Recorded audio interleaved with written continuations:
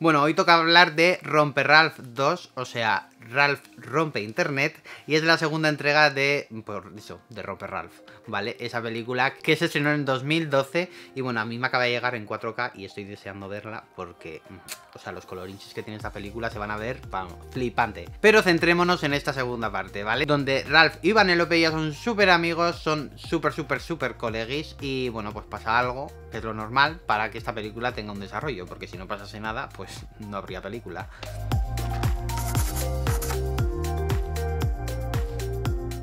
Ya nada más empezar vemos pues que ellos dos están viviendo su vida súper bien, súper felices, pero que Vanellope no tiene Vamos, que le falta un poco de chispa a su vida, ¿vale? Que quiere probar cosas nuevas porque ya está un poco estancada en su vida. Y bueno, pues pasa una desgracia, que no voy a deciros cuál es para que os sorprenda un poco más en la película, pero bueno, pasa una desgracia que les lleva al mundo de Internet. Un mundo súper amplio, lleno de un montón de información, de mundos nuevos y bueno, que vais a tener que estar muy atentos a lo que ocurre en pantalla porque de verdad que hay un montón de información cada segundo que pasa. Ya sean letreros de apps o ya sean personajes que conocemos o cualquier cosa. De hecho yo durante la película vi más de un letrero de Movistar, ¿vale? O sea, cosa que me sorprendió bastante. A mí ya la primera entrega me gustó, me pareció que era súper fresca, súper diferente. Estábamos como un poco más estancados en el mundo de Disney, ¿no? Que siempre estaban haciendo pues películas más o menos parecidas o habían encontrado un tipo de humor parecido y esta como que lo rompió todo un poco, ¿no? Se volvió un poco más meta. Y en esta segunda entrega lo vuelven a conseguir.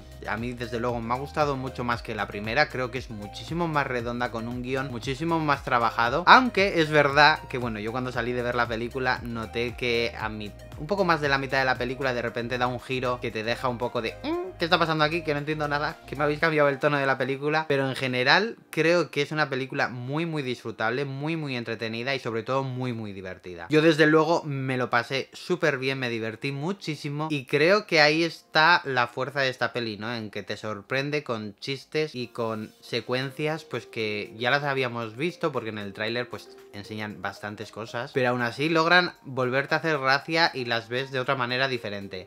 En concreto me refiero a las princesas Disney. Creo que es una de las mejores cosas que tiene la película, aunque no lo único bueno que tiene la película, y que te hace ver como que Disney ya es consciente no de su pasado. No quiere decir que ahora esté haciendo parodias de lo que hacía antes, ¿vale? Porque las princesas Disney siguen siendo un icono dentro de Disney. Pero bueno, dejemos de hablar de las princesas que no son las protagonistas de esta película, que son Ralph y Vanellope, y creo que logran manejar bastante, bastante, bastante bien las historias de cada uno, logran darle un poco más de profundidad a ambos personajes y creo que es una de las cosas más importantes de la peli, no simplemente que nos repitan cosas de la primera, sino que exploren muchísimo más su relación y su mundo interior, por así decirlo. Ya nada más llegar al mundo de internet te das cuenta de que esta película tiene, mm, bueno, miles de posibilidades de que podrían hacer una tercera, una cuarta, una quinta entrega, porque todavía hay muchísimas referencias, muchísimos mundos que pueden explorar. La película exploran bastante y no voy a entrar en detalles, ¿vale? Pero hay uno muy chulo que, bueno, la voz la pone Gal Gadot y ya solo por eso, pues es arte.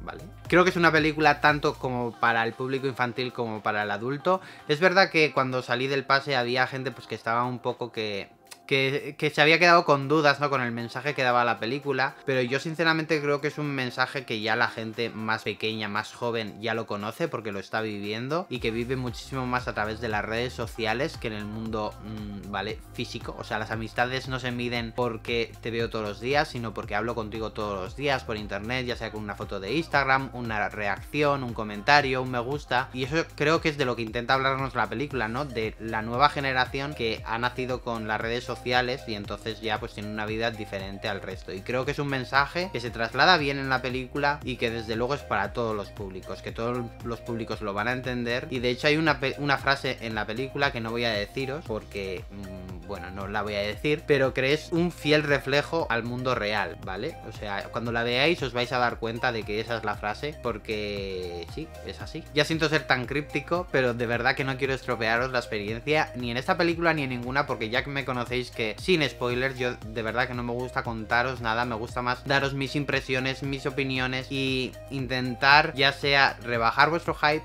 o deciros que el hype está justificado y creo que con esta peli os lo vais a pasar súper bien. Visualmente es fantástica, la banda sonora es fantástica, de verdad que, es que no le sacaría casi ningún pero a la película, excepto como ya he dicho a ese, ese cambio brusco quizá en, en la historia, que no creo que esté bastante bien unido, pero en general creo que es una película súper disfrutable que, que os va a hacer reír, que creo que es lo importante de esta película, que no pretende que no pretende mucho más, pretende que lo paséis bien, que la queráis ver más veces para ver esos pequeños guiños. Es un poco como cuando ves Ready Player One, que quieres ver todo lo que está pasando en pantalla, pues con esta película te da un poco la misma sensación, ¿no? De querer volver a verla para intentar captar más cosas que están pasando en pantalla. Y bueno, creo que ya, creo que ya he soltado todo mi speech, que os he dicho un poco mi opinión y lo que podéis esperar de esta película. Y nada, podéis dejarme un comentario aquí abajo de si tenéis ganas de verla o no. De si recordáis la primera o ya la tenéis un poco olvidada y vais a refrescarlo, ¿vale? Yo, o sea, yo desde luego voy a volver a verme la primera otra vez antes de ir al cine a verla otra vez porque se estrena en diciembre. Y ya está, no os olvidéis de suscribiros, de dar a la campanita, de dar un me gusta y nos vemos muy muy, muy pronto en un nuevo vídeo.